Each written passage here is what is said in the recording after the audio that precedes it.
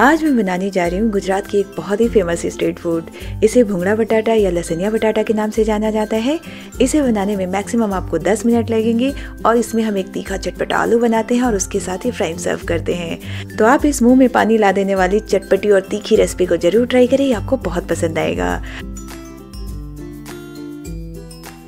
अगर आपको मेरी रेसिपीज़ अच्छी लगती है तो वीडियो को लाइक करें, चैनल को सब्सक्राइब करें और बेल आइकन पे क्लिक करना बिल्कुल न भूलें। तो चलिए आज की रेसिपी शुरू करते हैं।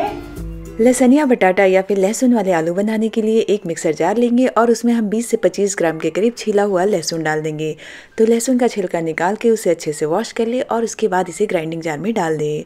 फिर हम इसमें दो बड़े चम्मच काश्मीरी लाल मिर्च डाल देंगे। काश्मीरी लाल मिर्च ही इसमें यूज़ करें, नहीं तो ये बहुत ज़्यादा तीखा हो जाएगा। आप इसकी जगह सूखी मिर्च भी यूज़ कर सकते हैं, उसका बीज निकाल दें। थोड़ा सा हम इसमें जीरा पाउडर और आधी छोटी चम्मच धनिया पाउडर डाल देंगे। अब हम इसमें पानी बिल्कुल नहीं डालेंगे, जार का ढक्कन बंद करके हम इसे ब्लेंड कर लेंगे। मसाले को हमें सूखा ही रखना है तो इसे ऐसे ब्लेंड कर लें। अगर आपका मसाला नहीं पीस रहा है तो आप इसमें थोड़ा सा पानी ऐड कर सकते हैं। तो यहाँ पे हम देख लेते हैं। तो मसाले को एकदम पेस्ट नहीं बनाए थोड़ा सा हम इसे दरदरा रखेंगे। तो ये हमारा मसाला पेस्ट रेडी हो चुका है। यहाँ पे आप देख सकते हैं, हमने इसका पूरा पेस्ट नहीं बनाया है। तब हम चलते हैं नेक्स्ट स्टेप में, जहाँ पे गैस ऑन करके एक पैन में तेल गरम करेंगे। तेल हम इसमें थोड़ा ज़्यादा यूज़ करेंगे। तेल के गर्म होते ही हम इसमें उबला हुआ आलू डाल देंगे। तो चार मीडियम साइज़ के आलू को उबाल के मैंने छिलका निकाल के ऐसे काट लिया है।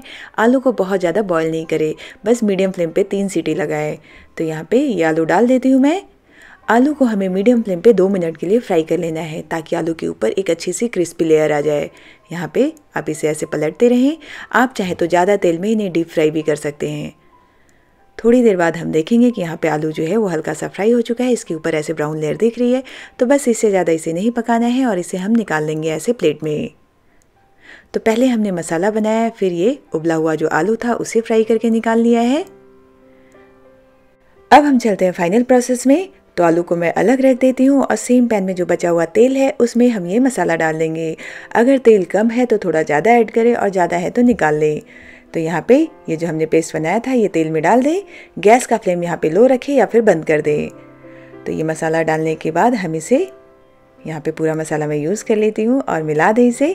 मसाले को हम एक से डेढ़ मिनट तक लो फ्लेम पे तेल में पका लेंगे ताकि इसका जो कच्चा फ्लेवर है वो निकल जाए। तो इसे ऐसे मिलाते हुए भून लें। जैसे ही मसालों से अच्छी खुशबू आने लगेगी, हम इसमें पानी डाल देंगे।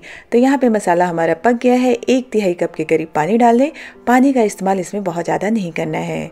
तो यहाँ पे ये वन थर्ड कप पानी डाल दिया मैंने। मसालों को अच्छे से मिला दें। अब आप यहाँ पे गैस का फ्लेम मीडियम कर सकते हैं। मैंने यहाँ पे अभी तक लो रखा है। तो जैसे ही मसाला अच्छे से पानी में मिल जाएगा, हम पैन को कवर कर देंगे और दो से तीन मिनट तक इसे मीडियम फ्लेम पे भून लेंगे। दो तीन मिनट बाद पैन का ढक्कन हटाया मैंने और मसालों के ऊपर तेल दिखने लगा है। मतलब मसाला हमारा अच्छे से पक गया है। यहाँ पे आप देख सकते हैं, तब हम इसमें ये उबला हुआ आलू डाल देंगे। उबला हुआ नहीं, उबाल के जो हमने फ्राई करके रखा है। तो ये फ्राई किया हुआ आलू डाल दें। आलू डालने के बाद हम इसमें डाल देंगे नमक। नमक का इस्तेमाल अभी तक हमने नहीं किया है तो स्वाद के अनुसार नमक डाल दें। और नमक डालने के बाद आलू और मसालों को अच्छे से मिला दें। इसे बनाने में मैक्सिमम आपको 10 मिनट लगेंगे। बहुत ही टेस्टी रेसिपी है। तो इसे ऐसे अच्छे से मिला देंगे हम और मिलाने के बाद आलू के साथ हम इसे ढक के एक मिनट और पकाएँगे। बहुत ज़्यादा नहीं पकाना है क्योंकि हमने मसाले पका लिए हैं, आलू को फ्राई कर लिया है। तो बस पैन को कवर कर दें और एक मिनट के लिए लो मीडियम फ्लेम पे इसे पकने दें। एक मिनट बाद हम पैन का ढक्कन हटाएँगे यहाँ पे। और ये हमारा गुजराती चाट या फिर सब्ज़ी जो बोले वो रेडी हो चुका है। आलू तो दिखने में बहुत ही मज़ेदार लग रहा है। तो हमने इसमें बहुत सारा तीखा मसाला यूज़ किया है। तो अब हम इसे थोड़ा सा चटपटा बनाते हैं। तो सबसे पहले यहाँ पे गैस को बंद कर देंगे और उसके बाद हम इसमें दो बड़े चम्मच नींबू का रस डाल देंगे। नींबू का रस गैस को ऑफ़ करने के बाद डालें। आप इसकी जगह इमली या फिर आमचूर का पाउडर भी ऐड कर सकते हैं। अब हम इसके ऊपर ये धनिया पत्ता डाल देंगे। बारीक कटा हुआ धनिया पत्ता इसमें ज़रूरी है। धनिया पत्ता डालने के बाद थोड़ा सा चाट मसाला इसके ऊपर स्प्रिंकल कर देंगे तो इसका टेस्ट जो है वो और भी बढ़ जाएगा। तो हो गया ना तीखा और चटपटा का कॉम्बिनेशन तो ये हमारा चाट जो है वो रेडी हो चुका है। यहाँ पे आप देख सकते हैं, इसे अच्छे से मिला दें। अब हम इसे गैस से हटा देंगे और अब हम फ्राइम्स को फ्राई कर लेंगे। तो यहाँ पे ये मिला दिया मैंने, इसे मैं हटा देती हूँ और एक कढ़ाई में तेल गरम करने के लिए मैंने पहले से रखा है। तो इसे हम इस येलो वाले फ्राइम्स के साथ सर्व करेंगे। तो यहाँ पे आप देख सकते हैं, बहुत ही आसानी से मार्केट में मिल जाता है ये। बचपन में तो हमने इसे उंगलियों में लगा के खाया था। हमारे यहाँ यूपी, बिहार में इसे फोफी बोलते हैं, बाकी अलग का मुझे नहीं पता।